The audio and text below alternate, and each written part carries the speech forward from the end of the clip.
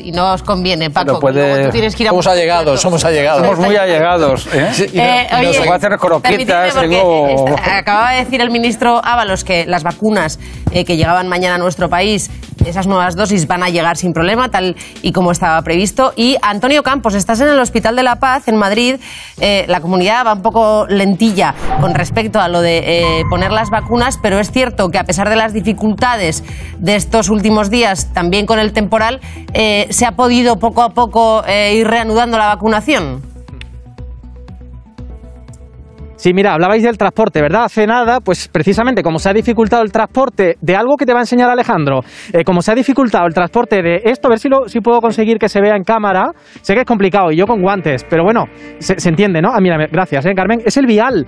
Gracias a que ha podido llegar, por ejemplo, al Hospital de la Paz, vosotros que sois profesionales sanitarios, Carmen enfermera, Alejandro médico, os habéis podido vacunar ahora mismo. Sí, justo. Eh, ayer tenía, estaba programado para ayer, pero por la nevada pues no pudo llegar. Hoy se ha podido reiniciar la vacunación o iniciar en otro hospital. En otro hospital se inició ayer y hemos venido para vacunarnos. sido de los primeros, me decías, Alejandro, que teníais de verdad muchísimas ganas y que para ti era un día muy especial. Sí, yo pasé coronavirus en marzo, pero a pesar de todo estaba deseando poder vacunarme porque, bueno, por, por, por mí, por mis pacientes y por mi familia, por seguridad, por todos.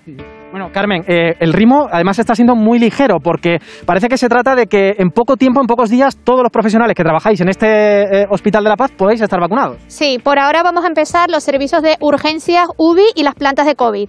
Y nada, nos quieren tener vacunados en 3-4 días. Bueno, ahora que os están viendo vuestros familiares, que os están viendo gente muy cercana y que ya saben que vosotros habéis sido vacunados, ¿qué le podéis transmitir? ¿Qué le queréis decir? Bueno, eh, sobre todo a toda la población, que es muy importante, por favor, que todos os vacunéis.